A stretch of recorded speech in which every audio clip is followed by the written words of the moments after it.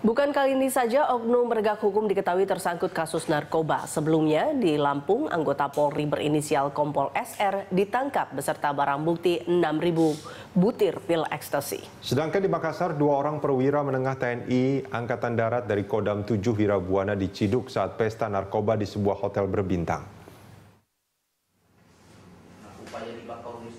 Polda Lampung bekerjasama dengan BNN menangkap seorang perwira berpangkat komisaris polisi berinisial SR. Diduga sebagai bandar ekstasi beserta barang bukti 6.904 butir pil ekstasi di sebuah hotel di Jakarta. Ribuan ekstasi siap edar itu rencananya akan didistribusikan di wilayah Jakarta dalam kemasan kaleng biskuit. Di Banten, Polair Polda Banten juga menangkap SH, mantan anggota polisi Lampung Selatan bersama rekannya RS saat membawa ganja 3 kg. Mereka ditangkap di kapal KMP Munich 1 di pelabuhan penyeberangan Merak Bakauheni.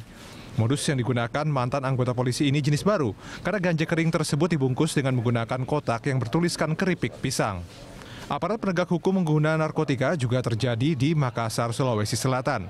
Bahkan tak tanggung-tanggung, anggota penegak hukum yang tertangkap tangan itu merupakan perwira menengah TNI, Kodam 7 Kodam Wirabuana. Kedua oknum perwira menengah TNI AD tersebut yakni Komandan Kodim 1408 EBS Makassar, Kolonel Infanteri Jeffrey Octavian Roti, dan Kapus Kodal Ops Kodam 7 Wirabuana Letnan Kolonel Budi Santoso.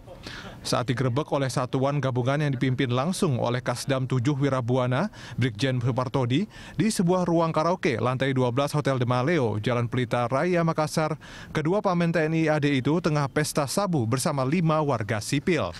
Setelah dilakukan tes urin, hasilnya kedua perwira itu positif mengonsumsi narkoba. Keduanya saat ini masih diperiksa intensif Pomdam Kodam 7 Wirabuana untuk mengetahui apakah masih ada anggota TNI lain yang terlibat. Masih adanya aparat penegak hukum yang terjerat narkoba membuat prihatin dan geram Panglima TNI Jenderal Gatot Nurmantio. Beberapa waktu sebelumnya dalam operasi penggerebekan di Kompleks Kostrat Tanah Kusir, Jakarta Selatan, tim operasi gabungan juga berhasil menangkap tangan delapan anggota Kostrat yang tengah bertransaksi narkoba. Untuk itu, Jenderal Gatot Nurmantio menegaskan akan memberi sanksi tegas kepada personel militer yang terjerat barang haram berupa pemecatan. Sebab personel militer yang sudah terkena narkoba tidak bisa menjadi prajurit lagi, meskipun ada program rehabilitasi. Panglima TNI juga memerintahkan setiap satuan komandan melakukan pengecekan rutin agar tidak ada celah bagi oknum TNI bermain-main dengan barang haram.